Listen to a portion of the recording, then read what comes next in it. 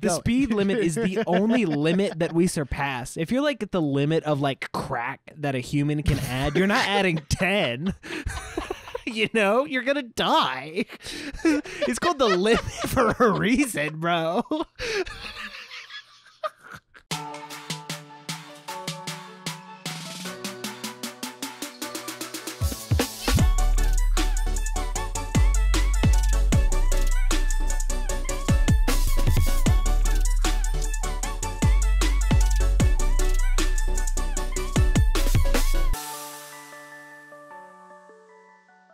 Hello and welcome to the Nerdiest Podcast, where nerds talk about nerdy things. As always, I'm one of your hosts, Mr. Jackson Glas, coming at you pre-recorded from, you know, your headphones, your car, wherever you're listening. Thank you so much for joining us today.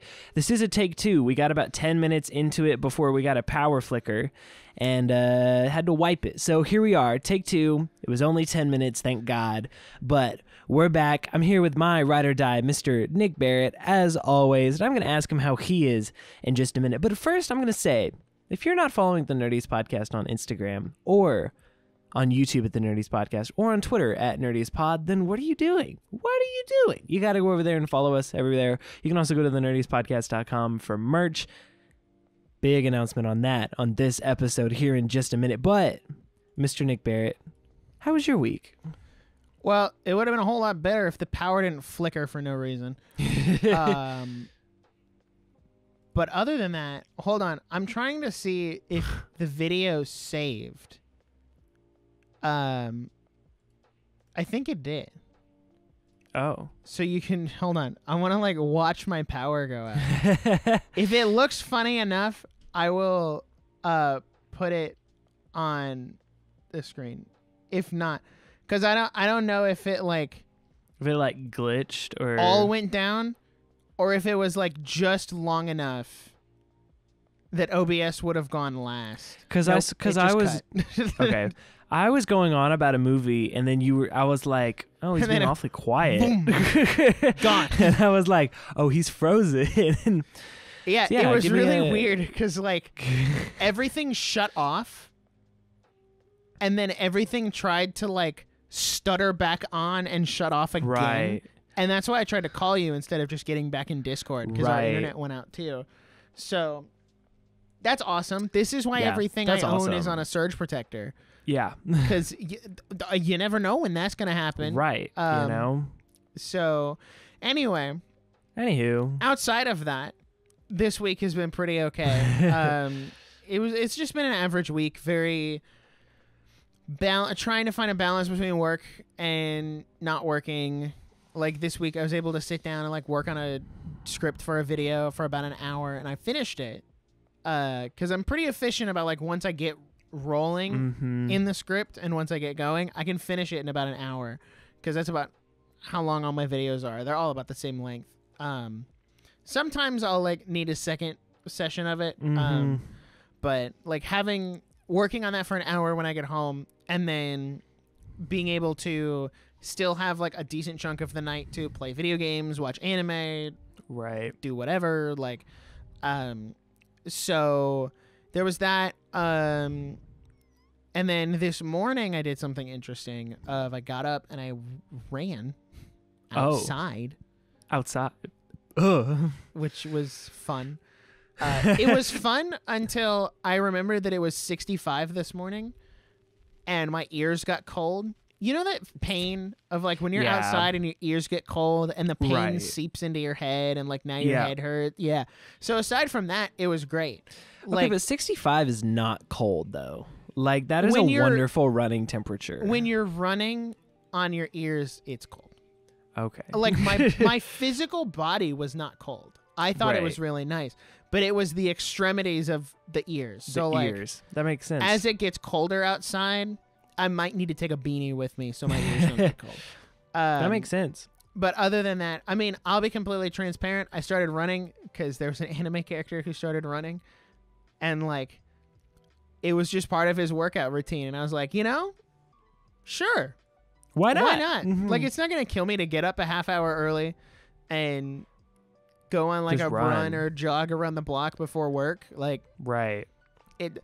What what's the it's worst it's gonna do to get me in shape? Ah. That's crazy. Here's what's crazy is I've heard a lot of different things about like, you know, for dudes it's better to just do weight because like something about how like, you know, you will burn more calories doing weight just because there's more muscle mass or something like that. true. But I also just am generally out of shape. And so running is a really good like you're just you build a general stamina. Like Right. that is just what what's going to happen. So I need to do that. It's just it's hot as balls like 24/7 Get up and in I the just morning, bro. No, It's e- not even though hot. At six thirty in the morning. 6:30. Ah. It's it's really not. like yeah, it's it's even on the hot days. Like it's still like in the seventies. right. No, you're When you valid. get up You're in the valid. morning. Mhm. What's gonna be hard, and I might have to stop running in the the winter because it does Right. get down to like twenty at night. Well, here. that's the other thing is like I don't know. Like there's has to do with like breathing too. Like when it's cold outside, I Oh can't breathe. Oh my breathe. gosh, like I hate is that. so I hate when like my lungs get full of cold air You're and just it's just pain on the inside. I'm like, Yeah. You just can't catch your breath. But then it's like, let me go in by the fire. so I might do like walks. I don't know. I want to Yeah. like, I don't know. and I mean, by the time we get there, like to it being cold, because we're still right. What it's July, so we still Right. have at least three more months before it gets cold.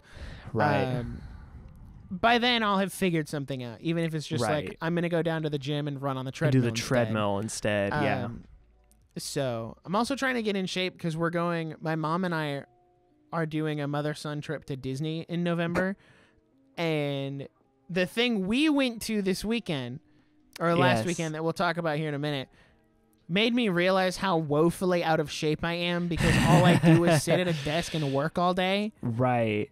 I'm like, huh.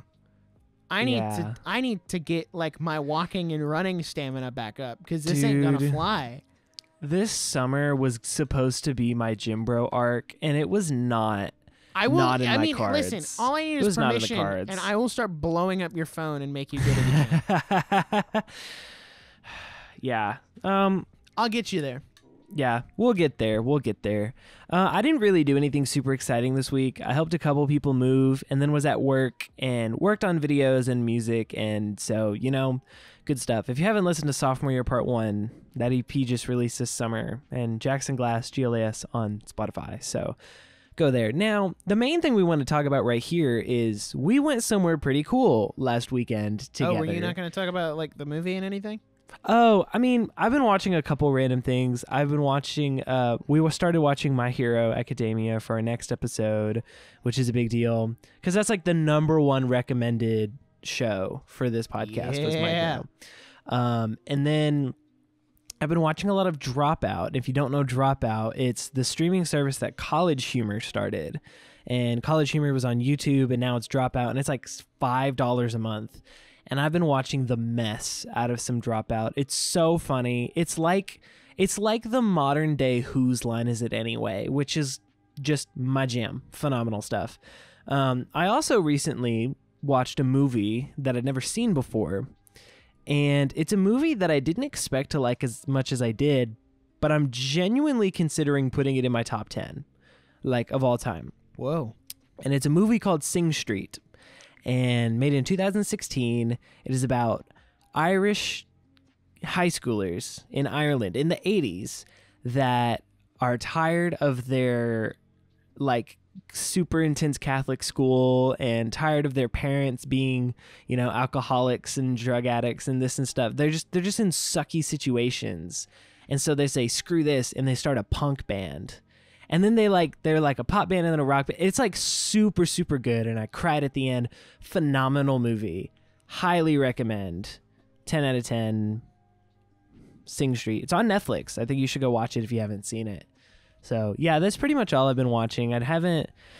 I need to get back into The Bear because I started the first season and then didn't finish it. But I've honestly just really been watching a lot of Dropout, which is just that's my obsession right now. Hank Green has a stand-up special on there right now that I really want to watch. So anyway, I also watched a movie for the after show, watched Pompo the Cinephile, which is our next movie on the Nerdiest After Show for this month, which you can subscribe to for a mere $2.99 a month and it's a wonderful way to support the show and then you get a bonus episode every month. So thank you so much to our supporters there. Go on Don't spotify worry, and I won't on forget to add it to the. Um, to the subscription the only subscription tab this time. Also, fair warning for everybody listening. Um, you can leave comments now? Question mark. Um, oh I was just messing around on the back end of Spotify for podcasters, and I got a Mm-hmm. notification that's like, "Hey, we're doing away with the Q and A sticker thing because now Oh. everyone can just leave comments like YouTube." like youtube And I was like, "Okay, I hate that I- can we make it I like really- uh, can we make it like the rating where you have to listen to a certain amount of episodes before you can comment?" yeah because I don't want these random bypassers just uh, d- jumping in, being like, "Hey, you suck." yeah and Your it's like, voice sounds like the the um, actually nerd nerd, emoji. emoji. I'm did that made me so mad. like I know that was okay. Quick context for those who don't know, I posted a short on Nic with No K a couple weeks ago, and it was the first short that my face was in. Like it wasn't the first Mhm. video. Like I've been on on video and right, streams and stuff, right. but it was the first short that my face was in, and everyone was like, "Why does his voice sound like the nerd emoji or the um actually?" It's like the um, and I was like, "Bro, you should be the uh, the the, uh, the nerd emoji." And I was like, "I'm sorry. What did you want me to sound like? Did you want like me to talk in a deep early voice like this? Is that what you expect? Uh, because then." There's a joke there that my lawyer has advised me not to finish. so I don't know what You you, know? want from what me. What do you want from me? But just move on. Half of them were bots, which also, like, I who don't know, the bots YouTube, to do that? YouTube Shorts comments are unhinged, and if you haven't, if you haven't kept up, we've both been doing a lot of stuff on YouTube recently.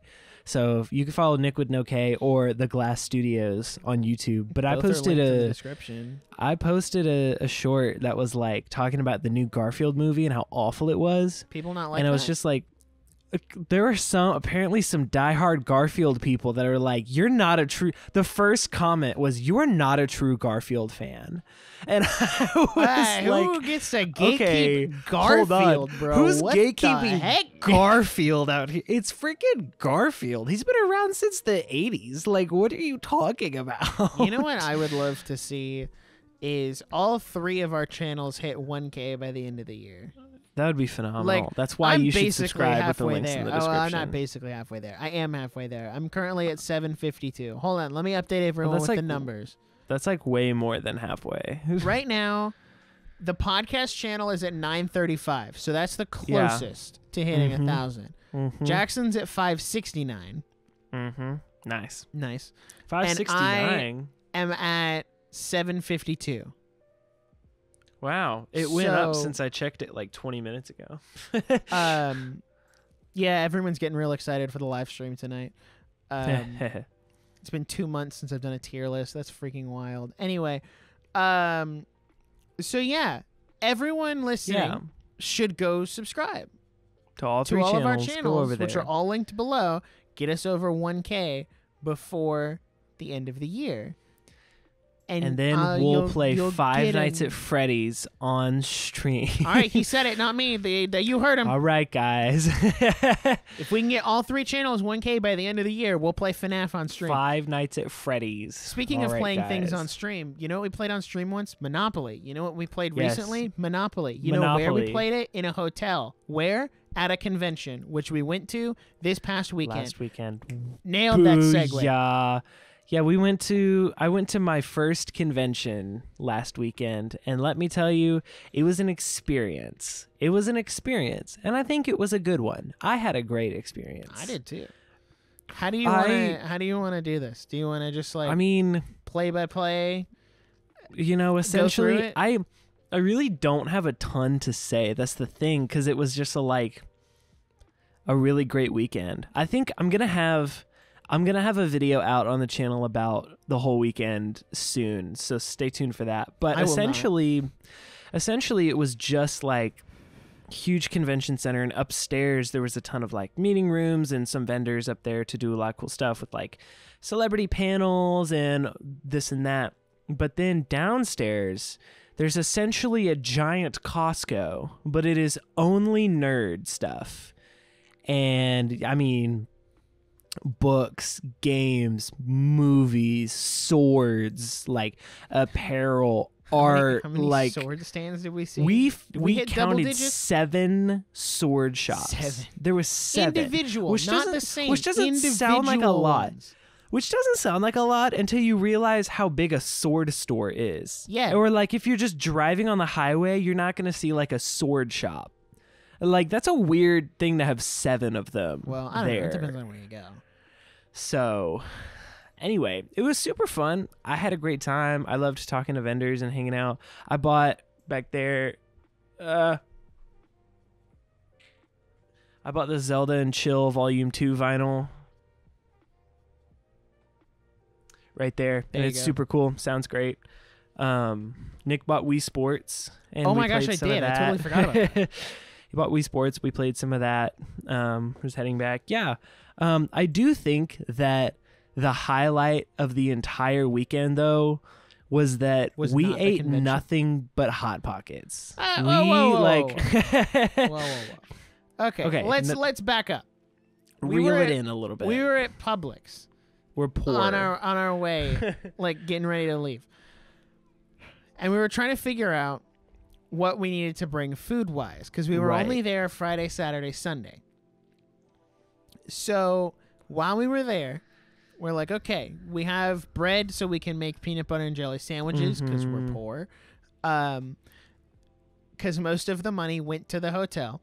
right. Um, so you know. we're like trying to figure out what we're gonna eat, and we walk in the freezer aisle, and I'm like, well, the room has a microwave, right? And we're like, yeah, Right. yeah, of course. yeah, totally. So- Every hotel has a microwave. As we're in, as we're in there, we're getting like, what are we gonna eat? Because we just need one dinner because we didn't want to eat out both nights. We ate out the second night. Which Right. I'm not gonna lie, that restaurant was a little overpriced. It was overpriced For for, the what it burger we was. got, dude. That I was mean, so don't know. true. Like, It was like good, but it was the mac and cheese was better. Anyway. Anyway. so for the first night, we're like, okay, we need a meal of some kind. Right. So I was like, you know, what we should get hot pockets because I never have hot pockets. I never have hot pockets. I, like ever. they're like a I haven't had a hot pocket in like ten thing. years. Right. So we get hot pockets. we get to the hotel. Not only did the hot pocket boxes fall apart in the cooler because the ice melted and the boxes got wet. Right. The hot pockets were completely thawed by the time we got to the hotel. right. So we just threw them in the fridge. We're like, okay, just keep them in the cool fridge. It'll be fine. So we go out. We like we went to the convention a little bit on Friday, just kind of like scope it out, see what's there. Like, oh, let's check out some of the vendors. Don't buy anything yet, but like check out some of the stuff. Um, we went and saw Despicable Me. F- oh no! no, you accidentally thumbs up. You accidentally thumbs up, and Discord was. no! Oh, I hate this so much. Hey guys, we're back. So sorry. Third time's the charm on Third frickin' time's the charm. technical Where difficulties were today, we? I guess. So we Anyway. came back. There was hot pockets. So we came back. There was hot pockets. they were thawed. They were thawed. We went out and saw Despicable Me 4. That was the last thing I said. Because I said I right. went like that and it like did the thing. I turned them off and I'm done because I don't want it to crash my stream later. Um, oh my gosh. so we came back. We're like, oh, we're hungry. There was no microwave in the room. No. It was downstairs Mm-hmm. in the breakfast area. So we walked downstairs with these hot pockets. we each took one, put them in there, put them in the microwave, warmed up, came back, ate them. We're like, huh, I'm still hungry. Right. So we warm up the other hot pockets, bring them back, call it Right. a day. You know. I, I will spare you the details. I'm just saying that we have sworn off hot pockets forever Yeah. because they went down great. The rest of the process not so great. So Um. we will never be eating hot pockets again. I love how we were both like, you were like, why did you let me buy Hot Pockets? And I was like, I don't know. I don't eat hot pockets either. Like neither of us eat hot pockets. we don't just eat hot thought pocket, which sucks because it's such a good idea. Like the Right, idea in in, theory. practice is not great.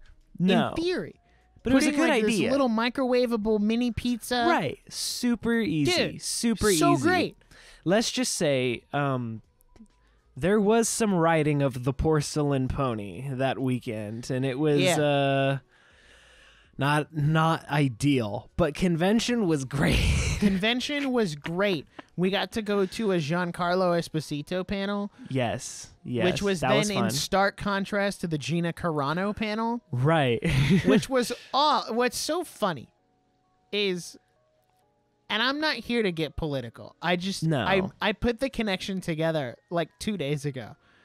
We go to the Giancarlo Esposito panel, and somehow we got on the topic of like, what's your advice for young people? And he was very much like, oh well, we need to fight the system, like fight the power, like take down the system. said something We're about stuck like in this two party system and it yeah. sucks and blah blah blah. And I'm like, I don't know. He's got a couple good points in there. And then we go to the Gina Carano panel, and all the like white conservative dads showed up. Right. So that's where that conversation went, and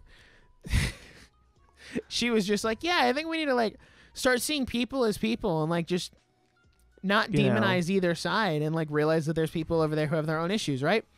right. We weren't out of the convention, what, 30 minutes? And it's like, oh, former President Donald Trump's been at shot. yeah. Oh. What? Okay. Cool. So okay. it's just like, it was really funny Yeah. that we came off these two panels. right. That and one we were was like- having. Row, row, fight the power. And the other one was Right. like, hey, let's not demonize. And then this third thing See, happened. because we were having really great conversations too. We were like talking about like politics and like the state of the world and like what we can do and like how we're like having like good Right. conversations with the contrast of the two panels and the views that we saw and what we thought and then it was like yeah um there was an assassination attempt and we were like awesome. Let's go home. I'm ready to go home. i'd like to go okay, home please. Mm, It's it's a terrible thing that happened, and it's also very sad that someone died. Like that's right that's terrible I got I got very heated on Twitter because people were making a lot of jokes, and I'm like, guys, someone died, so maybe let's this not isn't funny. make right. jokes. It's not funny. Um, but it is just very interesting, and like something I said as we were walking out of the convention was like, yeah, I feel like as a society we've lost the ability to have a conversation, and when you lose that ability, that's when people start fighting and there's violence, and then. That happened. then so that like it was just very interesting how that all like tied right that all together. came, came together and I'm like, uh huh, okay, that's Right. interesting. It was very So, interesting. Outside Yeah. of that, someone did ask Giancarlo awesome. about the Community movie, which I did not think was going to happen. We were like, "Is he going to be in the community movie?" And he essentially like, said that he was "No." too good for the community like, movie. I take on more deeper emotional roles now. Uh, and we were like, "Okay, don't think you're too like, good for the community okay, movie." buddy, like, calm down. Go, turn the volume down a little bit, buddy. Now, so, So, you know, yeah, was convention was great. Overall thoughts on the convention. My overall thoughts on the convention is, I would not go by myself. Because I think that it was more about the friends you make along the way. Because, like, the convention was great, but I just had a good time with you. Like, we just had fun together. And, like, the best parts of the weekend weren't even at the convention. Like, it was just us, like, sneaking Hot Pockets around and, like, being, doing, like, dumb stuff downtown. And, like, so really, I think, and I'll talk about this in the video, in my YouTube video that'll come out at some point. Um, it's the kind of thing where it's like you're not personally like there's none of the stuff that was there was like strong enough interest to me to like be like I have to go see this. I need to see this. Or I didn't need to pay for any of the the like photo ops or autographs or anything. Right. but it was like Giancarlo Esposito that's awesome. Yeah let's go see him. Or like we went to Michael Rooker's Q&A and it was like oh this is really fun. Like he's awesome. Or like even the Gina Carano one. I was like she said some really interesting stuff I thought was cool. And I was like yeah that's awesome. But like at the end of the day I really think that is just a gathering point for people of similar interests yeah, and it really is just like this place for people to go hang out for a weekend and like look at cool vendors and buy games and talk to each other and hang out and like you know hang out downtown and so i had a great time but I think that if you went with the wrong group, it would be horrible. Oh, 100%. C- conventions are It's a social conventions game. ride and die on who you go with. Right. It is a social event. That is how I feel. I've been to really good conventions and I've been Yeah. to really bad conventions. And it even and like it usually is not the convention itself that's bad. right. It is the people you go with. Right. Like I went to one last year and in a very similar vein, the best parts of the convention were when we weren't at the convention. Right. Like I went to one with Zoe who does like our fearless graphic designer. Mhm. Um I went with her and a couple of her friends and her brother and like we went and that was really fun and I went again this year cuz Right. that was really fun and I like so and then there was the one I went to in Atlanta last year that I was like that one actually was not the convention or the people. It was just Atlanta. Yeah. like- Atlanta just sucks. yeah. And I never want to go back. In stark contrast to the one we went to in Knoxville. right. Dude, I'd go back to Knoxville. I'd go back. I we felt had so, so safe. I haven't been in and, like, years. I I would walk I've around only- outside at night right. We did. and not feel like I'm going to get shot. I've only Um, been one other time, and I had a great time this time. Like I'm intending to go back, but yeah, I thought it was really fun, and it was really it was a really unique experience that I am glad I had. But I also think I still think it was too expensive for what it was. Yeah. It was overpriced. yeah. Was it you mean like the convention was too expensive or overall? I think the convention was too expensive. I was going to say you better not say overall. I No, the not hotel, overall. not I- overall. I think the convention because the convention ticket was like $90? Ninety dollars, which was cool because that's the days, kind though. of that's like what you'd pay to go see like a concert or you know like something like that. And it's, but it's the kind of thing where it's like, I pay ninety dollars to go into the store. You know, it's kind of like Disney where you're like, okay, my ticket was X, but now I'm looking at food, like m- merchandising is overpriced, like all this stuff. And it was just kind of like, you know, if none of that stuff was if, essentially that's why I wouldn't go by myself. Like if it was like 30 bucks, I would totally walk around that whole place, but it wouldn't be worth the money if I wasn't going for social aspect. Right. That's, my consensus.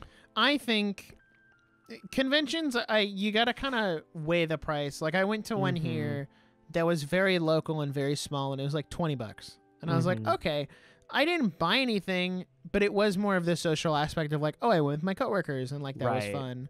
Um there's another one we want to go to that is also local, but it's a little bigger cuz it's in the convention center here. Mhm. Uh, the other one was not. Oh. Um, But it's like, I think 60 for the day. But it's like along the same line as like size of the one we just went to. Right. So like that Okay. makes sense. And it's also That the social sense. aspect of like, oh, right. I'm going to go with my coworkers again. Or like maybe I'll go have with church friends. right. So there's that aspect of it too. Personally, my favorite part of the weekend was the incredibly scuffed game of Monopoly we played. Because we were like, was all right, rough. we just That had dinner. rough. Let's end out the night. Like, we're going to finish our dessert. Like, just kind of chill. Let's play Mhm. Monopoly. What, what setting should we put the AI on? Ah, Easy. Normal. Easy is fine. it's fine. We did easy. Dude, we got freaking destroyed. Yeah. This AI bankrupted me like an hour in. Like I fought for my life against this stupid AI for like an hour. And then I literally had to bankrupt I literally sold all my properties to Nic cuz I was like we're officially a team now. This guy has to go down. Like he's going down. And it was here's the thing. We won. After a 2-hour game, we won. We had to cheat like 7 times. But we thinking, won. How do you cheat? Well, Well, let me tell you. the free parking was up to like $1,200. right. And we thought, hmm, it'd be great if one of us got it. Mm-hmm. But if not, Like we were both at such a poor state. I was like, if, Right. if this AI gets free parking, like we're done. I'm gonna Right. quit. So I was holding my Joy-Con, and I was like ready to home X A to Like, close, the game. And as soon as he hit, I was like, I know, like you need nine spaces. hit nine, I closed it, and we were like done. We were gonna Well, watch I'm done. something. Like I'm not And doing this. Jackson went to the bathroom, and I was like, "Ah, let me just for funsies see if it saved," and it did. But the game re it saved before the AI got free parking and before it had rolled. Mhm. So then it rolled again and got an eight. and we're like, free. Wait, ah, we can change the fate. we can save scum Mhm. like the speedrunners do. right. So every time we got an unfavorable outcome, we just We just quit. quit, and then did it again. And I mean, we won. we won. We it reached a like point where we're like, quits. You know what? We're too far in. We have to be committed to something. Right. So we're gonna save scum, and it worked. we need to play again. fine. We need to play again because I need justice from that. I know. We need like an actually good game. Right. Um, crazy. So that was great. That's we also hit. McKay's on the way home Sunday. yeah, Which was I I'm always down for McKay's. I love McKay's. I bought Nobody on Blu-ray, and I also bought a book called The Mammoth Book of Tasteless Jokes. And it's literally an alphabetized book of offensive jokes. And I was just like, this is peak. Like, this is my favorite book right now. and there's an entire awesome. chapter for the Beatles. And that's my favorite part. So, I took yeah. a bunch of manga there, traded it in, and I bought more manga and a couple Blu-rays. you So, know, we, uh, so yeah, we had a great weekend. So it was super fun. And, you know, I would do it again. But I, I would do it with you. Godspeed. Out of context. No one clipped that. Eh, no, it's too late. um, so that was It's- really our only news. We also oh, it wasn't even news. we got one more thing up our sleeves. That's right. Everybody, if you go to the nerdiestpodcast.com right now, we're very happy to announce Finally, that we have two new merch designs out right now. Now, I bet you're wondering what new merch designs. Now there's two. Now you can get these in shirts. There's a hat of some hats available, sweatshirts, whatever whatever your heart desires. We have the Nerdiest Podcast audience score, which is a Rotten Tomatoes riff on how the audience score is always higher than the critic score. And so we have a riff on that on a shirt, and I'm pretty sure there's a hat version on there that we're working on. So you can go buy that. Or you can buy our new design from the Walt Disney Public Domain Collection, Steamboat Willie. You can have your very own Steamboat Willie shirt. And that's right, the text says Walt Disney's Public Domain, Steamboat Willie. That's right. The nerdiestpodcast.com, new merch just launched. And guess what? We get all that money. All the money goes to us. We make these designs and we keep up the store and all this. And it's just a really great way to support the show because we are independently produced and we have to do everything together. So, there's a really great way to show your support and just help out the show. So, go to the nerdiestpodcast.com help us for buy new Jackson a stream merch. deck. Help us buy me Or a, a new stream computer. deck. That would be great. I need that new computer so bad, bro. Did you ever buy All that right. camera that was on sale? no, I decided not to. Wait, you I can was- justify spending fifteen hundred dollars on Prime No, Day? I, I just had a I had a lapse of judgment and was about to put it in my cart and then was like, no, this is a decision you have to sleep on. this is and not then the one Prime of Day deal was over. And then I was like, this is probably for the best. Did you buy anything for Prime Day? This is really off topic. No, no. Oh. Here's the thing. Did you? Yeah. What'd you get? Um. Well, I got these headphones. Right. I also got a case for these headphones and more memory foam tips for these headphones. None of which were on Prime Day sale. I was just waiting for them to go on sale right. for Prime Day, They and then they like, didn't. And I was like, okay, fine. Um. I also got a steering wheel cover for my car nice. and an electric toothbrush. Wow. I'm so happy for you. See, I looked So- at all the deals, but all of them were like 10%. They all kind of sucked. They were like 20%. And I was like, Prime Day used to be like Black Friday level deals. Yeah, it used to be Black Friday in the middle of the year, and now it's just another day on Amazon. Right. I'm like, I could find a better deal on like a Tuesday, you know? Like, this They is. they the- put a bunch of manga on sale and acted like it was on sale. And I'm like, bro, it's like $5 off. That's not a Yeah. sale. It's normally $5 off. I feel this way about Black Friday too, but I think the only thing worth buying on those sale days is tech because that's the stuff that actually gets pretty discounted. So like cameras were $500 off, some MacBooks were like $500 off, and that's worth it if you're intending to buy that sort of thing. Like I'm saving my money now and hoping to get a new computer for Black Friday. We will see how that works out. Just because I use my computer every day for my job, my in my personal projects and for school so it's like kind of a necessity for me. Yeah. so you know um, if this one like randomly dies i'm so screwed. So i'm kind of like praying it makes it to november. But yeah that's that's that about that. Nerdiestpodcast.com get me a new computer. Now thank you so much for sticking with us thus far through our technical difficulties through our ramblings we know that you've you've wanted to get to this point and we're here here are some unhinged bad film takes. Now, if you don't think they're bad, apparently you can leave a comment. So leave a comment down below on which ones you love, which ones you disagree with, which ones you agree with, and which one you say, finally, someone said it. Because honestly, sometimes we're kind of based. So I've organized mine from spicy level. It goes level one, two, three. Three being the spiciest. Now, Mine are just on a notes document. Mr. Nick, hit me with a hot take. Hit me All right. with like something that can just really start us off and just be like, frick, dude. You want me to go like crazy hard, like hit a home run on the first one, or Um, start it off a little, s- little, little I think you little start off a little slow because mine are Okay. a little tame at the beginning. Okay. Uh, I'm ready. Hit me. Movie theaters should have a courtesy seat.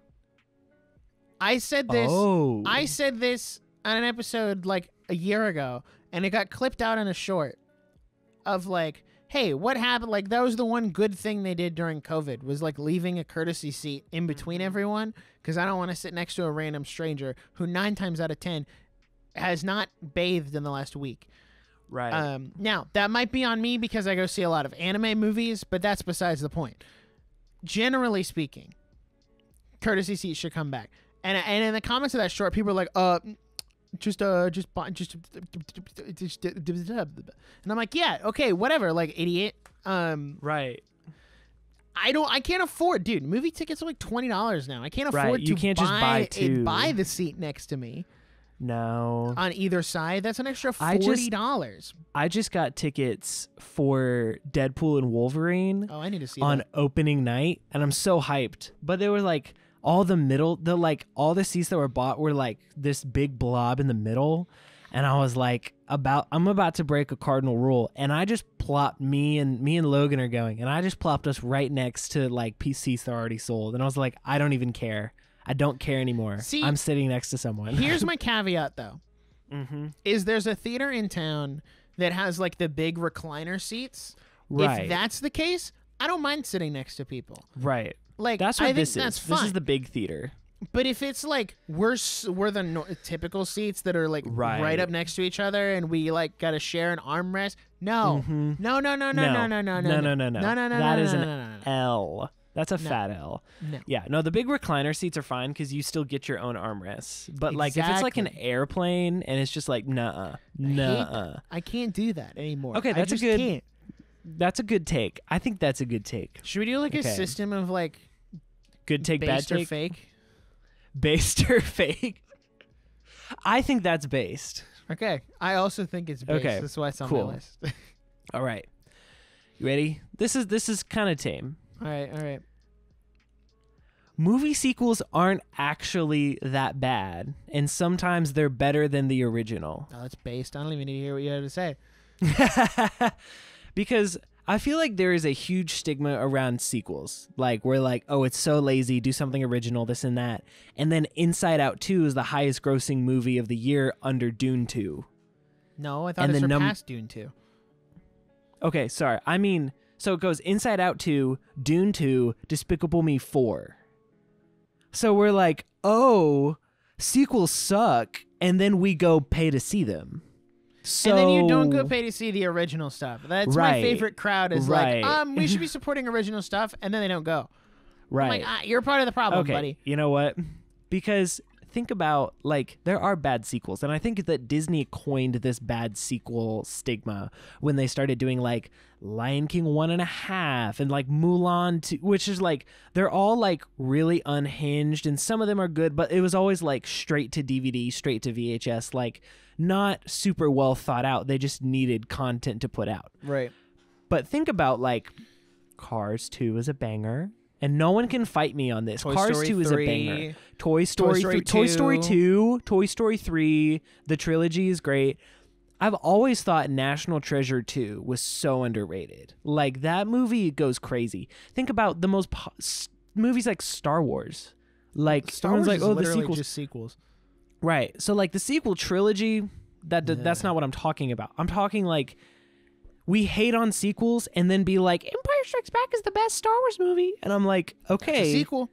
that's a, technically a sequel. So I feel like we need to rethink our sequel stigma. Thank you for coming to my okay. TED Talk. That's based. That's based. I'll- based. I'll, give it All to you. I think it's based. All right, let me crank up the heat here a little bit. Um, okay. These are all pretty unhinged. Oh, what do I want to do? Man, these are all really like hardcore. How many more until you get to like a hardcore one? I think I have three of each level. My third level one is a little hot. Okay.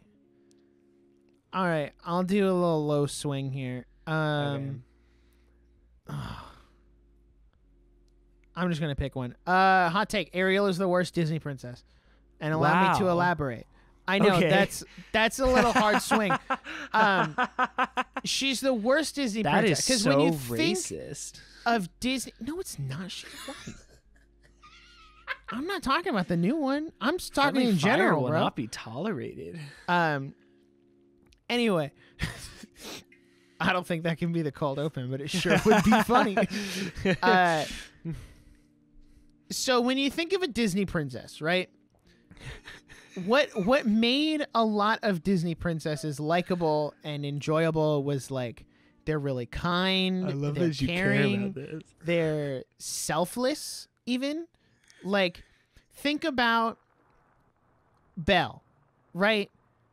She's very selfless and kind and like in the live action movie she's trying to teach kids how to read. Like just a very and like that was the whole point of beauty and the beast was like Mm-hmm. you need to see pat like don't judge a book by its cover i didn't i never Right. okay cool i was today years old That when was i realized good. that was the parallel they were trying to make this movie and belle likes books anyway so like belle Regardless. super selfless right mulan Mm-hmm. another very selfless character who disguised herself as a guy so that she could go fight in place of her dad who was too sick to do it and then ended up like saving all of China. That's awesome. Right? If you want a more recent ex- recent thing, Moana goes on this grand journey to save her people. Like that's great. Mhm. Then you have Ariel, who her sole motivation in the movie is not to better society as as one of the king's daughter. It's not to improve people's lives by singing or teaching them about the human world. It's cuz she wants to really I can't say that, but the she really wants to bang this dude, and that is the sole motivation of her in that movie, and it sucks. I'm sorry. She's the worst because she's the most self-centered, narcissistic, egotistical loser on the planet. She is the ab- she is the antithesis of what a Disney princess should be. Because her whole motivation is like, I really this guy's super hot. I want to be with him. And her dad's like, "Hey, humans killed your mom. So like maybe we should be cautious." I'm not saying he's entirely in the right. I'm just saying that her like going past that and going to her weird essential oil crunchy aunt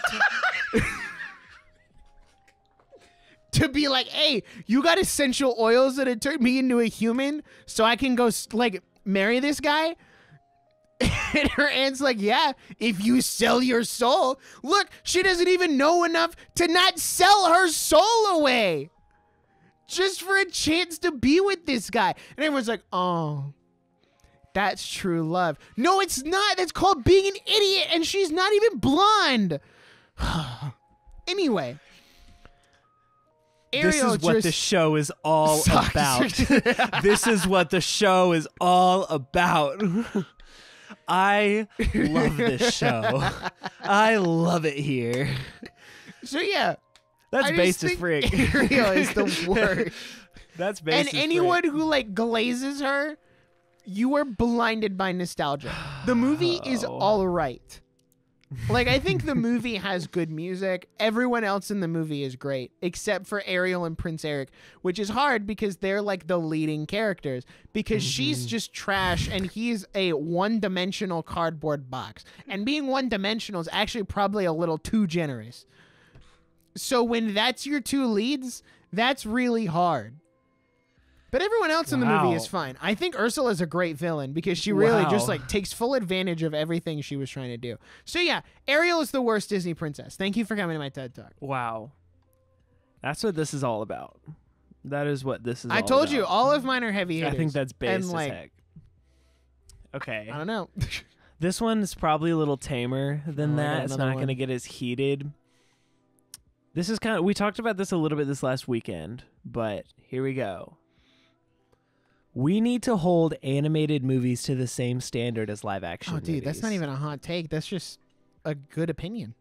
Listen, when we go and see like Despicable Me 4 and someone's like, I mean, it's pretty good, but it's like, you know, it's good for a kids movie. And I'm like, no, no. We have proven plenty of times that we can put just as much effort into kids movies to make them good movies. We cannot give studios a pass for making bad movies because they're kids movies. We have proven so many freaking times that they can be very good. Granted, those movies don't always make more money, so studios are not going to push those movies. But you look at like Puss in Boots: The Last Wish. The movie's phenomenal for all ages. Literally any DreamWorks movie, like that move, move most of those movies are like phenomenal for kids and adults. So I really don't like this argument that we're saying this is good for a kids movie. We need to just listen. We cannot just feed our children mindless entertainment and think that that's not going to affect them later.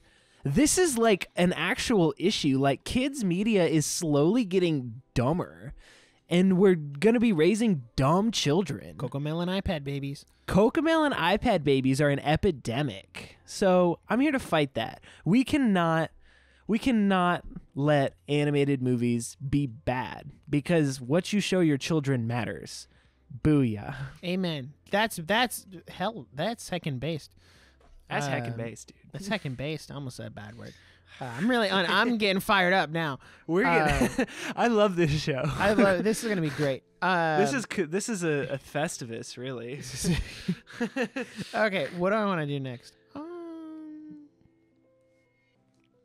oh, that one's really hot. I'm gonna. Not, I'm gonna save that one. Um, keeping in the Disney vein, mm-hmm. on the topic of Disney princesses, again. Are they all about Disney princesses? No. Um, I think the live action Beauty and the Beast is better than the animated one. And I know there's a lot of nuance to that of like, oh, well, we have like modern technology, modern writing, blah, blah, blah, blah, blah, blah, blah, like better music. Yeah, sure, whatever. Right? The animated one is still, um, like, still really good. And it's a classic. But I think in terms of conveying the story and telling the story and even the original watch. stuff they added that gave like more depth to Belle's mom and like her parents and how her mom died and like all of these little things and like showing the beast as this like even more sympathetic person in the sense of oh well yeah he's a like he's a douche but right at the same time like I don't know. She he was just like he was like twelve when he got Right. cursed. So you know, I don't know, man. He was kind of a brat. maybe he just was a bratty kid. So, I don't know. I think there's a lot that it does better. I I think some of the music is better. The music is where it gets really fuzzy Dude, because Evermore though.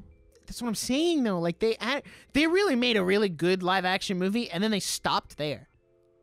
Yeah. I will never I will never stop mentioning the fact that live action remakes are a graph of they're a statistical graph of how much effort we need to put in to maximize profit. Mm-hmm. And they went really high on the effort with like Cinderella. And then they kept going down, which is why like the early Right. ones are good cuz you get like Cinderella, Beauty and the Beast, Aladdin, and they keep going down. And then where the graph perfects itself is amount of work is all the way at the bottom, Mm-hmm. near zero. Right. But profit is all the way up here, and that's the the Lion King. yeah. And then that's the attitude they've kept for all of them moving forward. So, Yep. Beauty and the Beast was like one of the last good ones. Aladdin was pretty good. Say what you will. That's Right, another high right. free freebie for you. I Freebie think the live take. action Aladdin was good. Do I think it's better than the original? No. No, I just thought it was because because the original has Robin Williams. right. That's so fair. So yeah. Uh, but yeah, live action Beauty and the Beast is better than the original. mm-hmm. I would Okay, watch okay. both, but I think that's based. I know a lot of people will disagree, but I think a lot of people of our generation will agree that that's based. my mom my mom agrees with me, which is so funny because she's like a diehard Beauty and the Beast fan.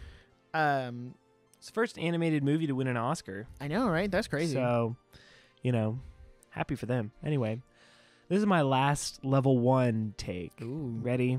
This is a Marvel take. Oh, Let me. Oh, I didn't even think about Marvel takes. Right, right. Hold on, I'm- Ready? I'm, gonna swap out one of mine for a Marvel take. Ready? Avengers Infinity War is a thousand times better than Endgame. Oh my gosh, that's so true. because here's the thing Infinity War had such. I think it had a bigger cultural impact than Endgame did. I really do. Because Endgame is only good in the last like 45 minutes. The lead up to Endgame is like snooze level storytelling. Like it's so hard to get there. Like Endgame is hard for me to watch. Infinity War though is like the most movie movie of movies. Like it is like the quintessential like how many IPs can we throw into this bombastic explosion movie? And like 9 times out of 10 that's an awful idea. It's like this is so cheesy and corny. It is like the only good example of throwing a 100 IPs at the wall and letting them work together. It is like Infinity War like changed the movie industry because everyone at this point is just trying to replicate what Infinity War did. No, you're right. And Infinity War made me feel things that a movie had never made me feel. I th- like leaving the theater after Infinity War was like leaving a funeral. Like I was there the pre-release night, like Thursday night, there for Infinity War. And everyone was there in their Marvel t-shirts and their popcorns and their cokes and they were ready to go. And then spoilers for Infinity War by the by, but you know, at- at this point you should know. It's been a long time. Everyone freaking dies. Everyone dies. And you get to watch it. And then it ends. And then it ends. And then it like picks up in Endgame, but not really. And it, it kind of like Endgame does a lot of work to like kind of retcon a lot of what Infinity War did and kind of like try to get back there. So I think the final fight of Endgame is a cinematic moment that in history that we should always remember. But in Infinity War, as a movie, makes so much more sense than Endgame and is so much easier to watch. You know, it's kind of based. I'll give it to you. I'll give it to you. We haven't had a we haven't had a Once fake we- yet. It's gonna once be interesting. we once we get down, I I don't think I'm gonna fake you until I get to level three. Uh, I think you're gonna fake me on one of my next ones. Okay. Uh, All right, guys. Level two spicy. We're turning up the spice. Let's see. Oh, I I have one on here that you're definitely gonna fake. Um, the takes are getting hotter. I, I'll go ahead and bring it out. The La La Land ending sucks. Oh, that's fake. That's no, it's just Fake. bad. Like No. I know the whole like, oh well, it's they could see what. Yeah, La La Land sucks because they made it for the Hollywood film bros, and that's the Mm-hmm. worst part of the movie because it got exactly all of the Oscars that they were hoping it got by pitching to the right audience, and I hate that because it just self care is turning off La La Land halfway through and not finishing the movie because it's so dumb because it is realistic. But I don't go to movies for realism, bro. I go to movies because I want to be whisked away to this fun little land, you know, this la la land where I don't got to worry about the real world. Here's what's brilliant about La La Land is for the first half. No, this is gonna be good. I promise. Mm-hmm. For the first half, they make you think that you're being wished away. You're like, "Wow, this is so magical," and then they're like, "Huh." It's like reality, and I think that La La Land is good because not to say because it's realistic, but it's because it's very good character writing in the sense that they were so selfish that they could not set aside their own desires to sacrifice to sacrificially love each other and be happy with each other. And now they have to wonder if they ruined their lives for themselves because it's kind of like I've won but at what cost? And that's a very complex narrative that not a lot of movies do well. I still don't like it. Okay, well you can not like it, but it's also I think I've always said this. La La Land is an adult movie. Like you I don't like adult you- movies. Call me You five because I like watching kids movies.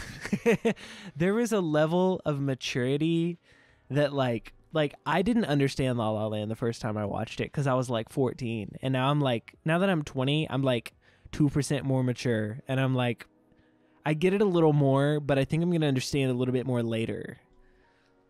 I don't know. Sound off in the comments. I think that's a fake take. I hate that. no, it, whatever. Okay. Okay. Go. So, level 2. This is I think my level 2 takes is what I call um piss off the film bros. Oh, let's Edition. go. So, um That's in, that's some instant bass right there. Everybody ready?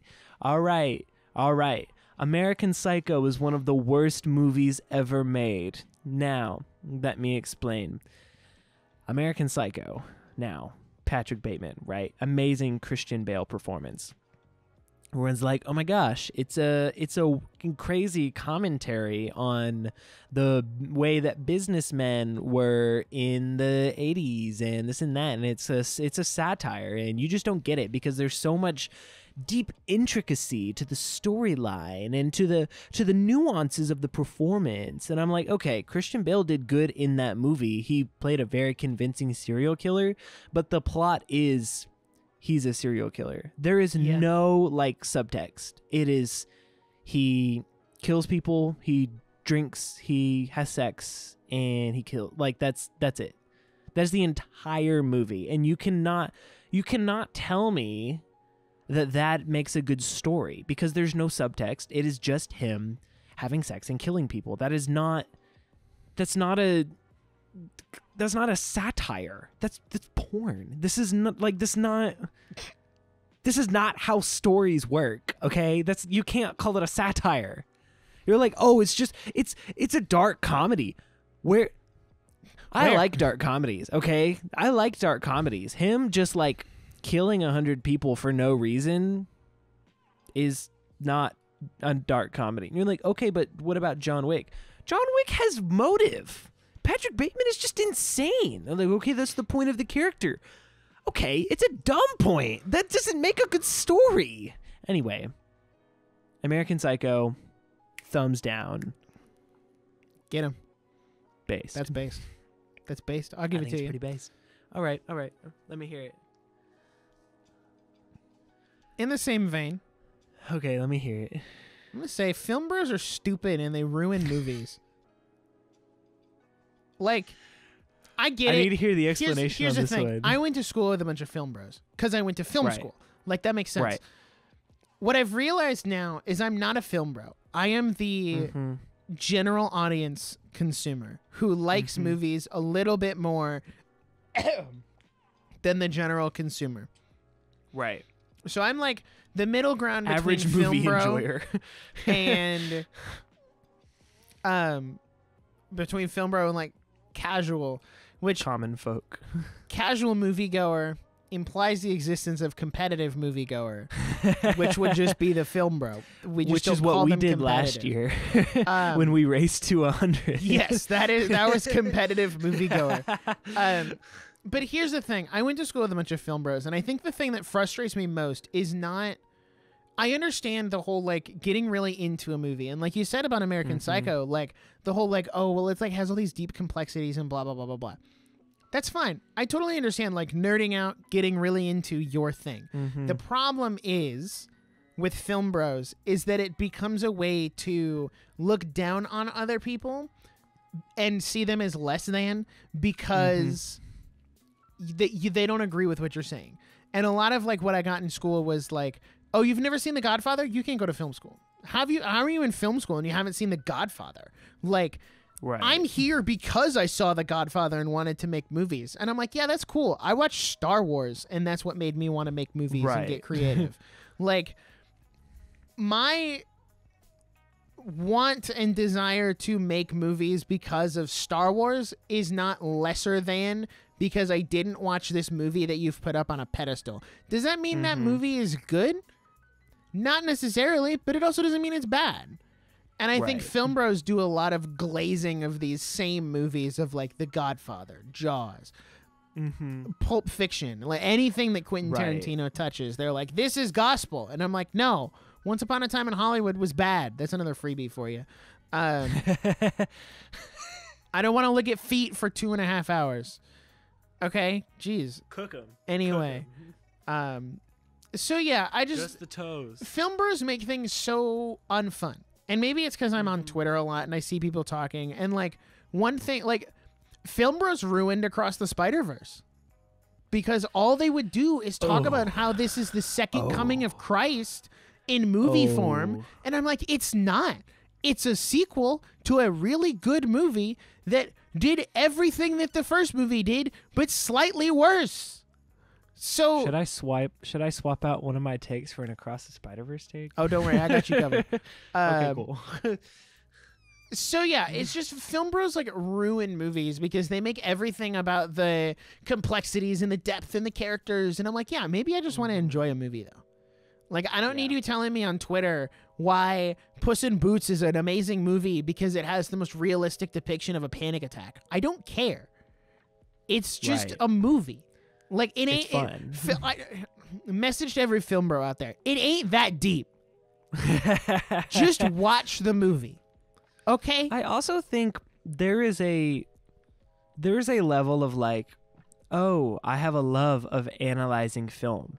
That's awesome. But a love of analyzing film is not an excuse to be a jerk. And that's kind of where that's kind of my issue is a lot of this conversation is oh, I'm better than you because you like the Mario movie. And it's like, no. I if you were truly an appreciator of film, you would appreciate all film. And you know, but you you just want to sit there and be like, "Oh, but but the prestige." And I'm like, "Okay, I've never seen that movie. I'm sure it's good." You know, I like Christopher Nolan movies, but I've never seen or you've never seen The Dark Knight? No. Okay, hold because on, I, hold on. I don't hold love on. That's Batman. kind of fake. I don't. I don't prescribe to that one. I've never seen it. I know. Not that's a problem. but also not for any hate because I love Christopher. Nolan and I love I just legitimately have never made the time to see it. So I don't know. I don't know. I I think that is based as heck. Shoot, I keep thinking of all these other ones. just just swap one out, oh. or just add it to the list, and we'll cut off when we feel like we've gone for too long. Okay, okay. Can never have too many hot takes. Okay, you ready for? You ready for another? While we're talking about film bros, I'm ready to just like Get them. Cut any tie Cook of 'em. any like anyone who just Dune is one of the most overrated movies of this generation. Amen. Listen, if I wanted to watch Timothée Chalamet brood in the desert with Josh Brolin, I would just watch The Phantom Menace. Okay, that is not that is not on my card. Listen, Dune is technically a wonderful movie, shot very well, locations are gorgeous, VFX, whatever. My problem is Star it just isn't what it wants to be Star Wars so bad. It wants to be Star Wars so bad. But you know the difference between Star Wars and Dune One of them is good. is Star Wars is literally all about hope. The point of Star Wars is hope and this and that. He's our only hope, and there's always hope for the galaxy, and we're gonna fight this and that. Dune is just straight nihilism. There is so much just doom and gloom that I cannot get behind. Now, if I said that to someone who liked Dune, they would try to start explaining to me the lore and how it's different in the book and how if you watch the second one there's this and if this and that listen it's doomy and gloomy and i don't want to watch that. Dooney. it is Gloomy? just as doomy and gloomy. I would rather watch star wars. Listen i've not seen dune 2 oh how have you not seen dune 2 i don't care. And i know that that's a really hard thing for a lot of people to grasp but i don't care and I think that that is a, kind of what you're hitting on on the film bro conversation is not all film bros are bad, but there's a, this whole like subculture that's like I am so important that you have to care what I care about and I don't. I'm so sorry. My favorite movie is Ratatouille. You don't have to care about Ratatouille. You don't. No, dude, my favorite movie is Weathering with You. A lot of people don't right, care about that right. movie. You don't have to care about my favorite movie, and, and I don't have to care about Dune. It's not. An, it's not how I want to spend my life. It's not how I want to spend my life. I don't want to watch three hours of Timothée Chalamet doing political dialogue about spice, and then watching him have flash flashes of Zendaya, which looks like a freaking perfume commercial. Okay, I don't need that. I don't need that. Here's Thank my, you for coming to my TED talk. That is so based. Here's my thing about Dune. As a massive Star Wars fan, right? To your point, Star Wars is all about hope. Now, all the Mm-hmm. Dune fans will be like, um, actually, Dune came first because it was a book, and then George Lucas read the book, and then he made Star Wars. Right. And I'm like, yes, that's cool. One of these is a multi billion dollar franchise, though. mm-hmm. One of them has nine movies, two spin offs, and a handful of shows. I'm not here to tell you that Disney Star Wars is good. I'm just sheer numbers, right? And I know they say quality over quantity. It was it was quality over quantity until Disney took over. Uh, right. but I'm just saying Star Wars takes everything that Dune is and does it in a more entertaining way. George Lucas is- probably read Dune and said, "Hmm, that's I interesting. this." Let's add laser swords and magic magic force." Mm. and everything else is pretty much the same. And he just took it and ran with it, and now it's one of the biggest franchises in the world. And Dune never really took off the same way. And you have to think about why that is, because maybe people don't want a nihilistic story that is just the world is going to end and it's so bad. Maybe people Mhm. want a hopeful story that is like, hey, there is always a light of hope out there, even when it looks really bad. Mm-hmm. So I don't know. I have my You own know. thoughts about. I could do a whole episode about why Dune is dumb, but I will Right. contain myself. I will contain myself. Yeah, it's. I'm okay. I really am okay. Okay. All right, let's see if I can get two fakes in a Hit row. me. Uh, okay, you ready for this one? I'm so scared. Kingdom of the Crystal Skull is a top three Indiana Jones movie. because one, it's not that hard to be better than Dial of Destiny, so that already puts you back in the top four. Amen. Next, freebie hot take. I don't think The Last Crusade's that good. Wow. I don't. You get a lot of freebies today. Right. I think Kingdom of the Crystal Skull does a better job at wrapping up Indy's character. Uh-huh. Because yes, there's Uh-huh. like, oh, they're that ride in the sunset with his dad, and it was like open ended of like, what's he gonna do? Sure, sure, Mhm. sure, sure, Right. sure. Or you could have the full narrative cycle of coming back to Marion, bringing a, his son into it. I don't know why they fought the Russians and aliens. I'm not here to. I'm not here to make decisions for. I'm not here to defend Spielberg. he wanted to do something new. Let him do something new.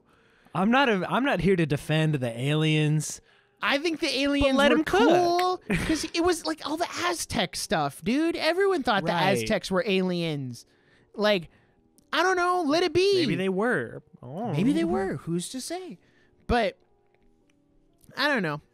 I just think it solidifies, especially that ending scene where like they get Mhm. remarried and like he's gonna go off and be happy with her, and then maybe his son is gonna be the next one, but he's like, oh, not yet. I'm gonna take the hat back because you're not ready for it. And like Right. there was really good potential for them to like have Shia LaBeouf be the next Indiana Jones, and then Mhm. they he went a little crazy for a little bit, and that's what Transformers will do to you. But so I don't know. I think it's a top three because Temple of Doom and Last Crusade are pretty interchangeable.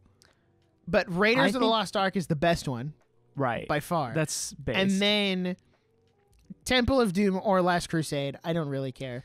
Can I just Uh, say? And then I think Crystal Skull. I think.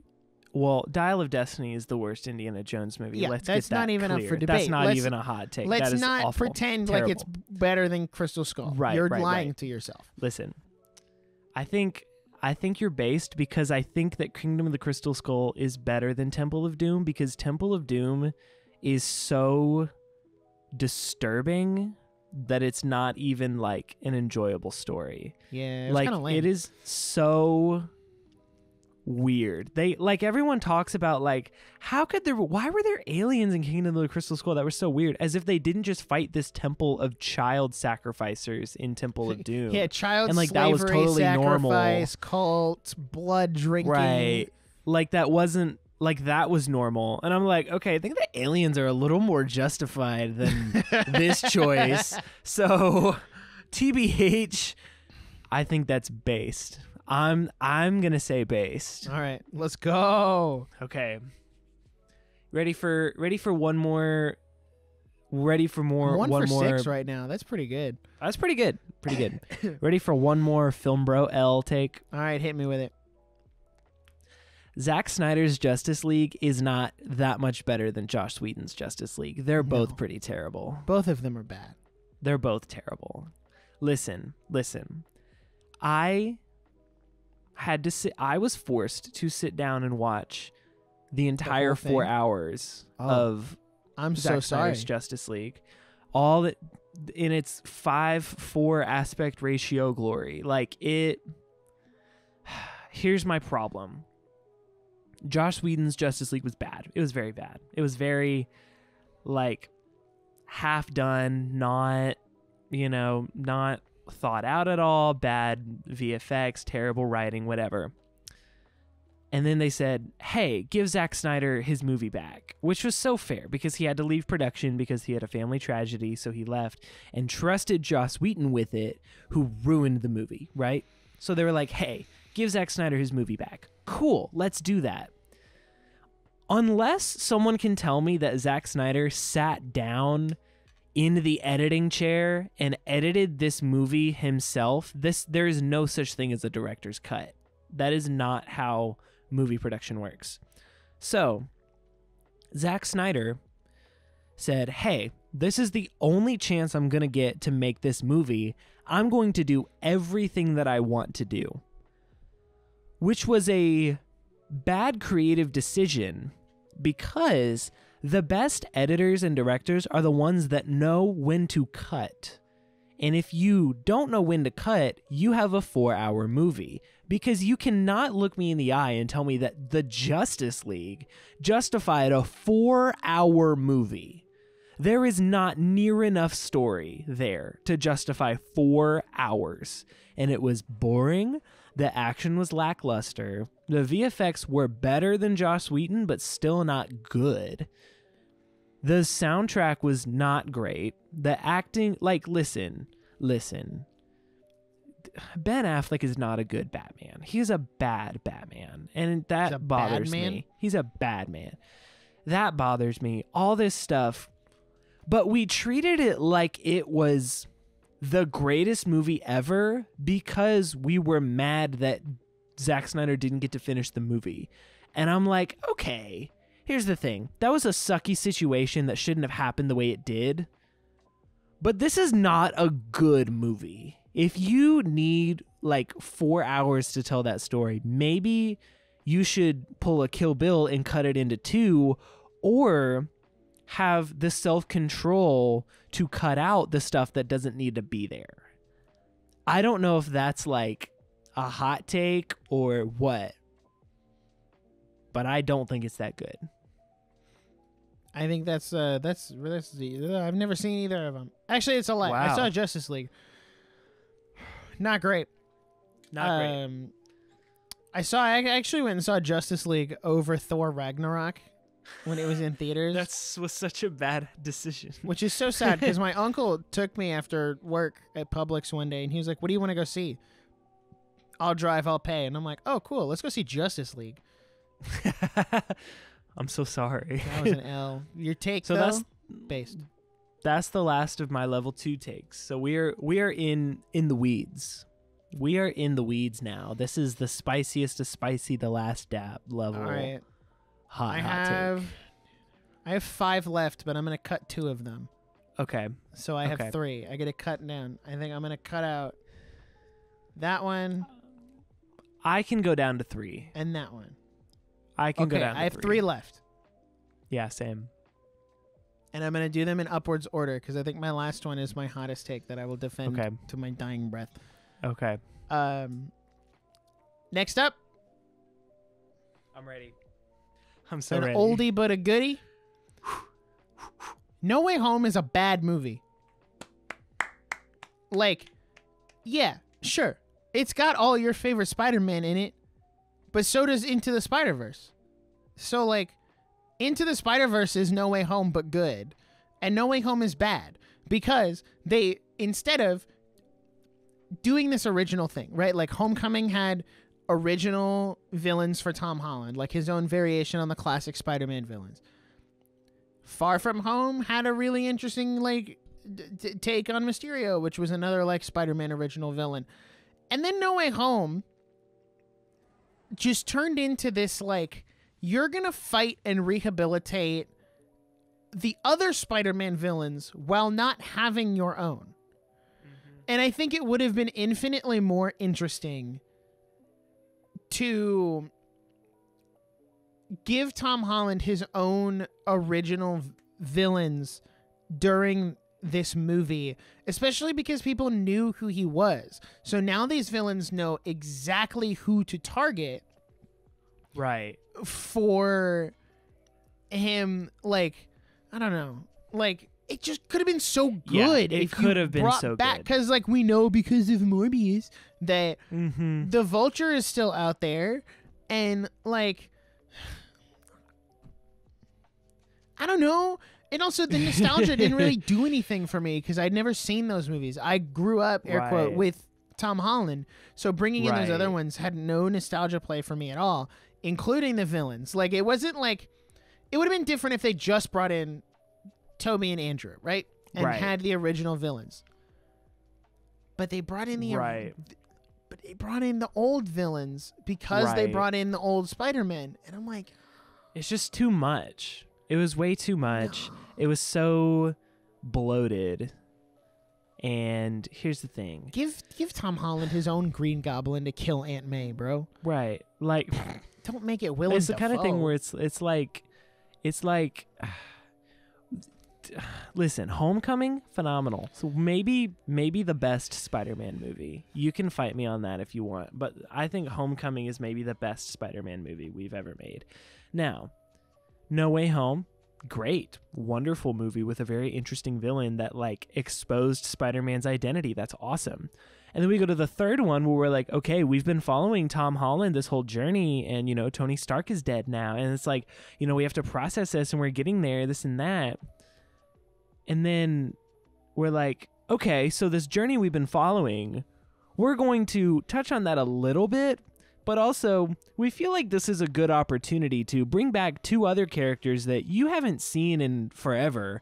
And, uh, you know, they really needed a second chance. And it's kind of like, okay, if you wanted to give them a second chance, you could have done it in a much easier way that wasn't impeding on Tom Holland's screen time because we Right. really wanted we were very invested in Tom Holland. It's not they they put the other Spider-Man in there as if we weren't invested in Tom Holland and they needed something to pad the movie so that the audience would care, but we were there for Tom. And then we just didn't get his conclusion in the way it should have been because we had to spend so much time on the other Spider-Man. So I agree. I will watch that movie. Like I think it's kind of fun, but it's the kind of thing where it's like it's fun in the way that a fan fiction is fun. Like it, it feels like a fan fiction. I think that's based. Okay. Good. Okay. Good. Okay. Okay. I have four, and I'm trying to decide which one I want to cut. Or I could just okay. I'm just gonna give you a freebie because this one I'm not gonna go on super long about it, and it's not super related. Harry Potter adults are way more annoying than Disney adults. Amen. Listen, Oh my god. everyone gosh, thank you. clowns on Disney adults. You're like, oh, you go to Disney World, this and that, this and that. It's like, okay. But Harry Potter adults will like ask which house you're in and will like like decide which house their baby is in. So this and I'm like, okay, that's all fun and game. Like it's all fun, but like why is your son named Draco? Like that is so weird. Like I don't know. Dis- I don't think Disney I don't know Disney adults that name their kids after characters. Like I that do. is a that- really okay, give me an example of this. I mean, I don't off the top of my head, but like, right. But I know there are Disney adults that do it. Right. But I feel like most of the Disney fans I know will name like their dog off of like a, a Toy oh, Story Oh, yeah, character or something like that. But like Harry Potter adults are another freaking level, dude. They're like always getting tats and all. Anyway, that's a side tangent, but it felt like it could go in there. This is my this introduces my level 3 spice and they're all Disney related. So these are my Disney hot takes if you're ready for it. I'm curious to see what you think about this one. Pixar's Up is very boring after the first 15 minutes. I need to hear you out before I give a verdict. So listen, everyone talks about Up like it is this freaking cinematic masterpiece. And let me tell you, the beginning of Up is very, very heartwarming. It like tugs at your heartstrings. Oh, it's Carl and it's his wife, and you know she she had a miscarriage. Like that's awful. But then like she dies and this and that, and now he's all you know he's all sad and this and that, and that is that is really amazing storytelling and the music is incredible and the animation is great and it's very creative. It's wonderful. I i love like the first half of up you know?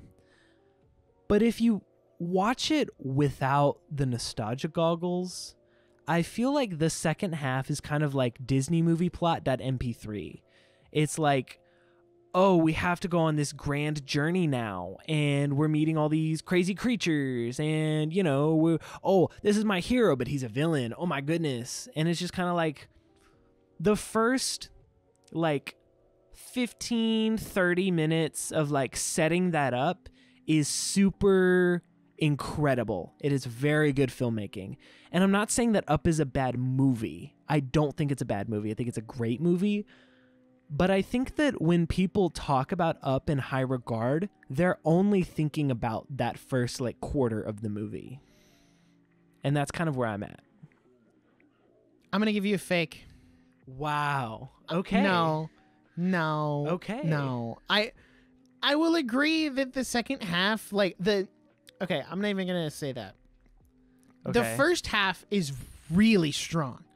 Yeah. It's such a good montage of their life and mm-hmm. like how they like grew as a couple and overcame like not being able to have kids and like all of these things that you kind of plan for and then they didn't get to do but they were still able to have like this ultimately happy life at the end of the day even though not everything went their way. Mm-hmm. And it is great.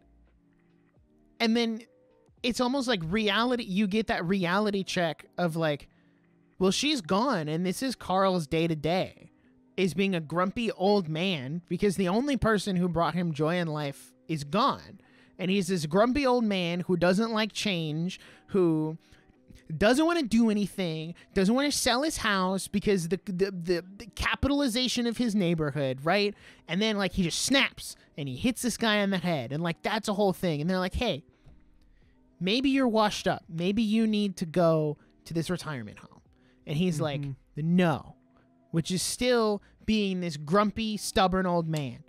And that's when he meets Russell, who's this young, like, go getter, who's like, maybe life's not so bad. And the course of the movie is him not only fulfilling the goal of going to Paradise Falls, which is what he wanted to do with Ellie, and leaving their house there in like this ultimate triumphant thing, but he also has this like fatherly relationship with Russell of giving Russell a father figure because he didn't have one. And dude, I'll never forget that scene at the end where like all the dads are putting on the thing and Mm-hmm. putting on the badges, and Russell doesn't have one. So Carl goes up and gives him the grape soda badge. Dude. And maybe maybe you're right. Maybe it is the nostalgia goggles, but that scene hit different for me because I was in that situation. right. As I joked about on our Pixar episode, like as someone who didn't have a dad, right? I Right. didn't, but I had a granddad who stepped into that role and Mhm. still made sure that I got all of the things that a dad should have. And that Right. relationship with them really resonated with me. But I also think it's this incredible story of like never meet your heroes because maybe they're not all they're cracked up to be. So I don't know. I got to give you a fake on that one. I see. I I, I, ju- think, I think you just don't get good. it. I, I just I- think you're too uh, simple-minded to understand the premise Listen, of Up, but you don't have a high enough IQ. it's kind of like the beginning is great and the end is great, but the middle loses me. No, I don't no, appreciate. I don't like the middle. That's just wrong. okay. Okay. Okay. You're telling me like, this is you level don't three think, spice. like when his house starts burning and he's losing all the balloons and like he has to figure out how to like and he kicks Russell out and then he like almost talks to the ghost of his wife who's like, Hey, you need to go take care of this kid. He's like, yeah. all right, but and he I finds someone to love again who makes gives like joy and purpose in his life. Like I don't know. maybe I, I need to rewatch just- it you with need a to different rewatch it. lens. I That's I'll rewatch a it and report back. That's such I'll rewatch fake- it and report back. this is level three. I, I can't know, like hold it's so back. fake. All right, let me hear. it. I think I don't think you're gonna like any of the rest of my Oh, takes. that's great. I'm glad they're Disney because this is like my one realm where I can really. right. Swing the bat. Swing. All right, Let me hear it. next one. It's getting hot. I think you're gonna. I think you're gonna base both of these. Rey Okay. is not a Skywalker, and I'm tired of pretending that she is. I'm so sick so and tired. Every time I see a post on Twitter that's like, Rey is a Skywalker, like if you agree. I'm like, she's not, though. She's a skinwalker, dude. She's a faker who stole the name.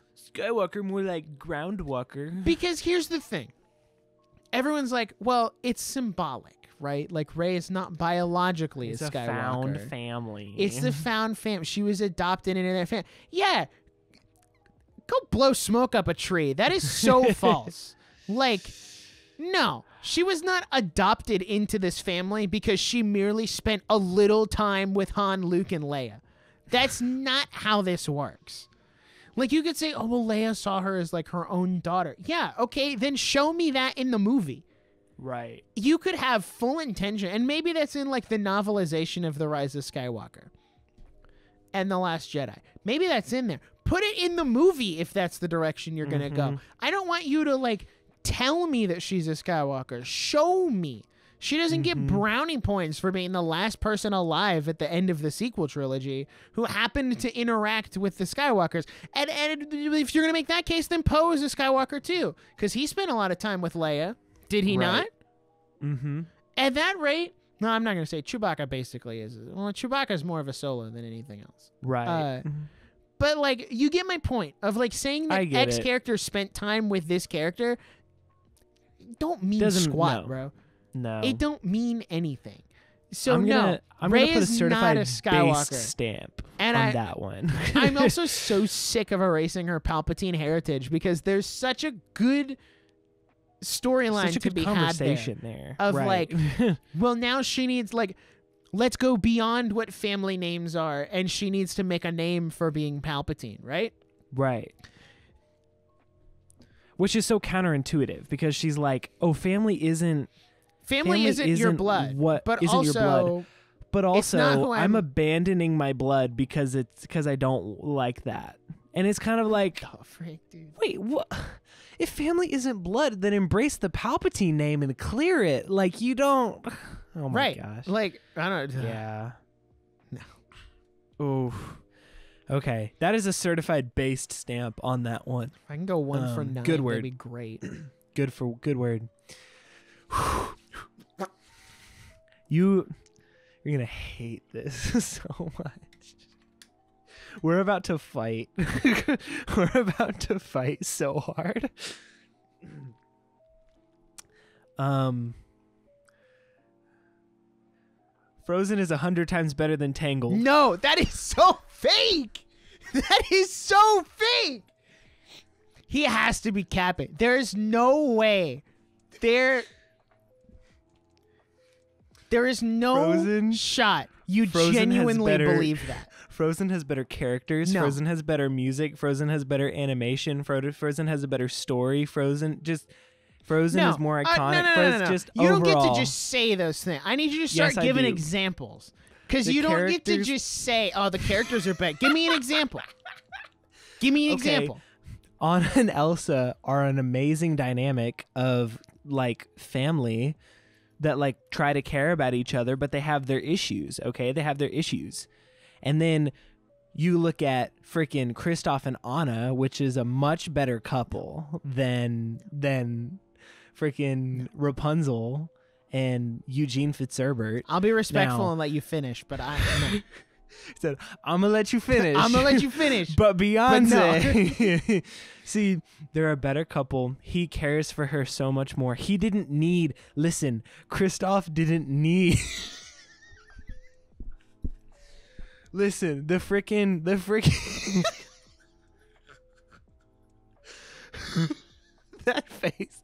So, so think to Frozen 2, right? When when Kristoff grabs Anna and they're like in battle and she's like, I'm so sorry I haven't been there for you. And he says, I'm here. What do you need? That is a freaking good boyfriend right there. He's the best. And then they like freaking get married and then they're amazing. Listen. Listen, amazing characters. The music is better. I'm sorry. The music is both in great in both, but the music in Frozen is better. Freaking Love is an open door. Listen, Into the Unknown is better than Let It Go, but Let It Go is good. Listen, you have you have reindeer are better than people. That's iconic. That's iconic. Listen, Frozen, Frozen is great when you don't have someone in your ear saying that it's not. All right, listen. And then the greatest twist villain of our generation when he's, oh, Anna, if only there was someone who loved you. Jaw on the floor. The first time we all saw that, we knew that this was peak. We knew that this was peak. All right. Olaf, iconic. Sven, iconic. So many characters. An amazing world with an amazing magic system that gets fleshed out so well in the second movie. Listen, amazing world. So, so good. Tangled would be better if they didn't have that opening scene that explains the entire story before you even see it. Okay, are you done? I'm done for now. Okay, let's back up. Let's back up. I'm gonna add a caveat. Here. I yield my time, Mr. President. I'm gonna give a caveat here. Mm-hmm. I don't think what you're saying about Frozen is wrong. Right. I 100% agree. Frozen is an incredible movie when you don't mm-hmm. have someone in your ear telling you that it's bad. I completely agree with that. I was a Frozen hater until I rewatched it a couple years ago. And I was like, okay, hold on. This is kind of gas. What the? wha- right. Same for Frozen 2. I think Frozen 2 is a great sequel. I think where you go wrong is saying that they're better than Tangled. That's the let me fallacy also in say, your let me also give a caveat. I will also say Tangled is a great movie. Tangled is phenomenal. Tangled is like a masterpiece. But I still like Frozen better. You're just wrong. You- okay, let, Okay. let's go back. Let's break this Let's go back. Characters. First of all, Tangled has a smaller pool of characters. So I don't I don't know if that's really a fit. That's like saying I'm going to compare my 12 Lego sets to your 2 Lego sets. I don't know. But also quality over quantity if you know what I mean. Next. Don't you dare sit here and Im- insinuate that Eugene Fitzherbert did not care for Rapunzel. Don't, don't, no, no. This man broke out of jail and died for her so that she could be free from her emotionally manipulative, gaslighting, psychopathic, fake adopted mom. He died, bro. He knew he was either going to get killed by Mother Gothel or he was going to get caught again and be executed. Or he was going to be executed before he broke out.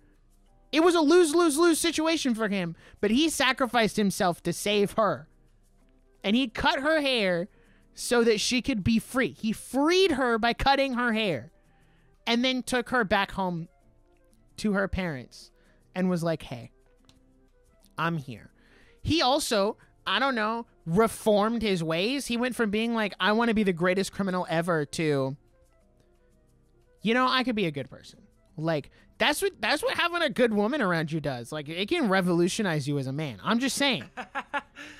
what did Kristoff do? I don't know. He went from an ice guy to a slightly more powerful ice guy because he's dating the princess. Like, Kristoff was an underdog story. He was raised. so was, was Flynn Rider. by- What do you mean? Okay. Well, he was a better underdog No. story. Oh my god. There's a whole like there's a redemptive aspect to it. Also, if you're gonna bring in Frozen 2, I'm gonna bring in Tangled the series because Okay, go for it. one to one, dude, that series is so good. Oh my gosh, it deals with so much of their relationship and it expounds upon so much. And there's betrayal and heartbreak and twists. And at the end of the day, it's like them learning to communicate and work through their problems and get. Also, Tangled has a great magic system that is fleshed out in the show because you find out there's a sundrop flower and there's a moondrop flower. Do I think the the ending villain is great? Not really, but that's but that's not what I'm talking about here. Also, music wise, I no no no no no. Tangled clears in the music department. I don't know. what you're Listen, about. listen. I think Tangled you're just music is great. I see the light. Listen. I see the light is infinitely cooked. better than any of the romance songs in Frozen. What about Lost in the Woods? No. No, I see the light clears Lost in the Woods every day of the week. No. Every day of the week. I don't know about that. Every day. Of the I week. don't know. Also, the that. the oh, I don't remember what the name of the song is, but it's the one where they're like dancing in the courtyard. Oh, love is an open door. No, no, from Tangled. No. Oh, from Tangled. Yeah, the medieval one. Oh. Where they're- yeah, that one.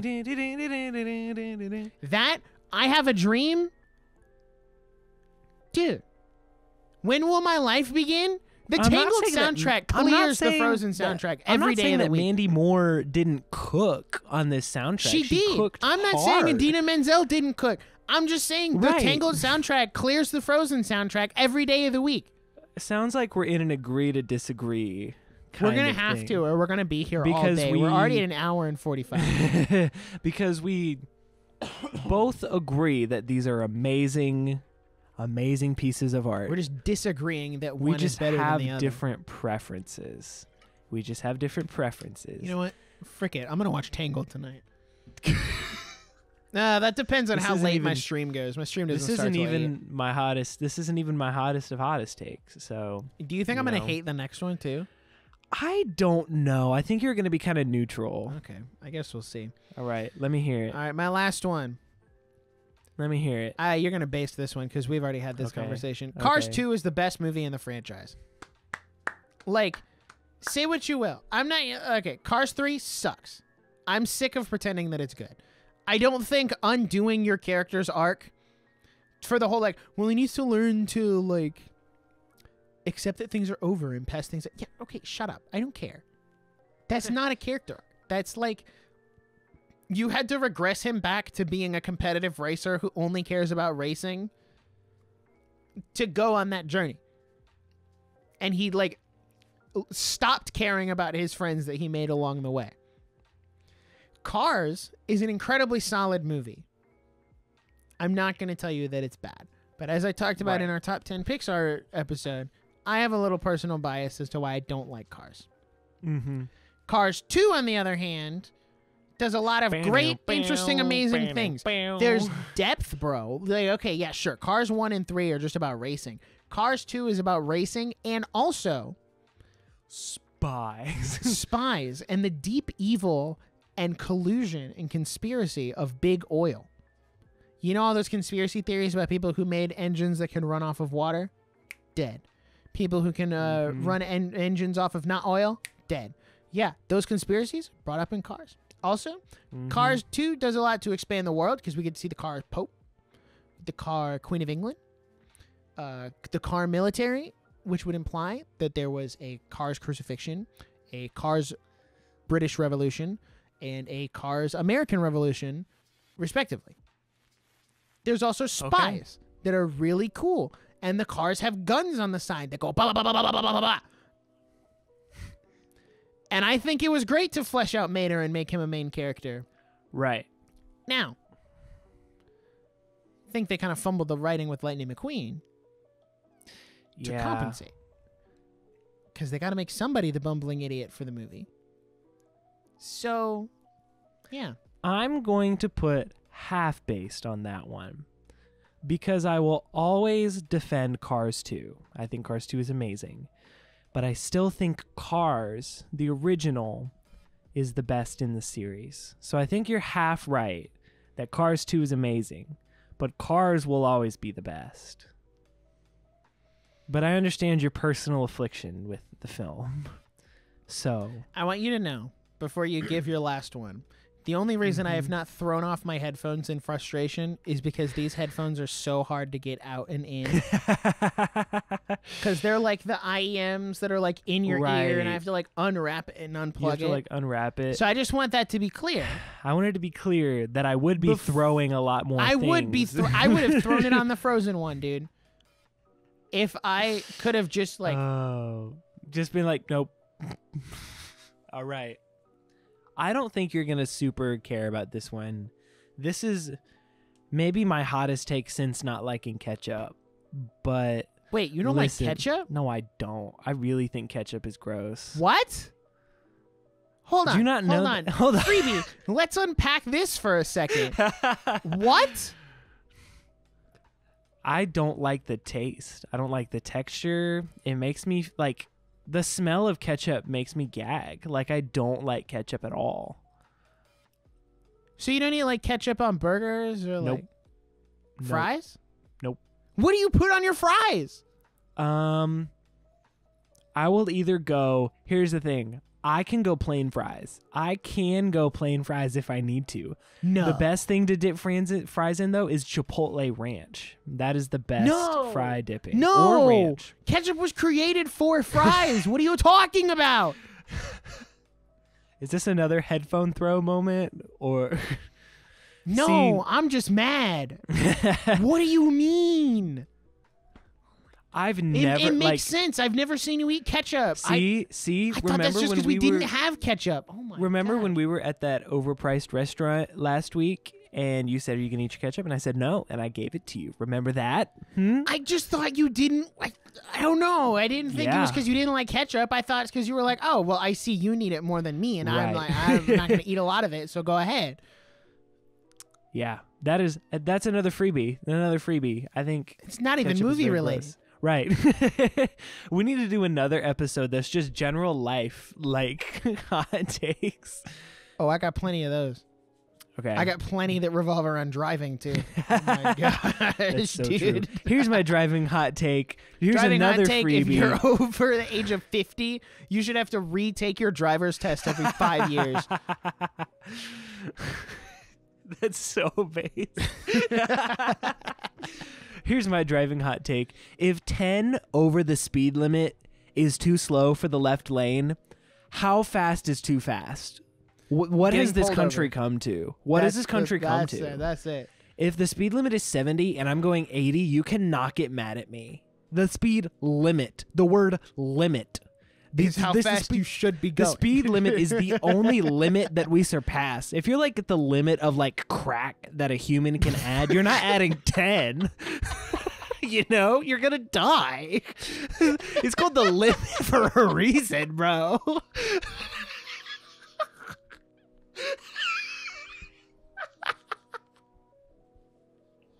this man did not just the limit of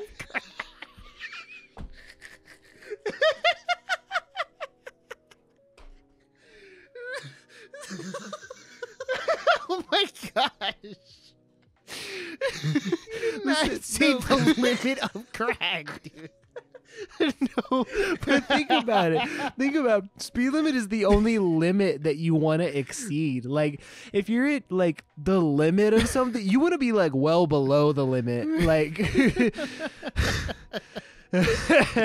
my Anyway. god i'm crying dude that was so funny that's your cold open. okay.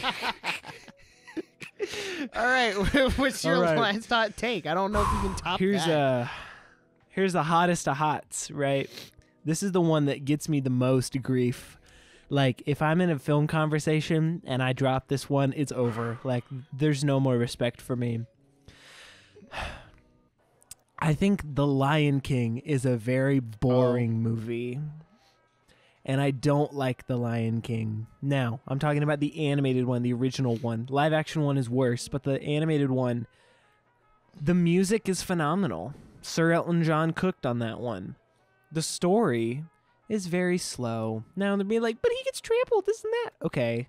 That's like the fastest part of the film. Okay. The rest of it is just them kind of hanging out and talking about him getting trampled. Now, granted, the main the main argument I've heard from this is they're like, okay, well, it was based on a Shakespeare play. Do you not like Shakespeare? No, I don't like Shakespeare.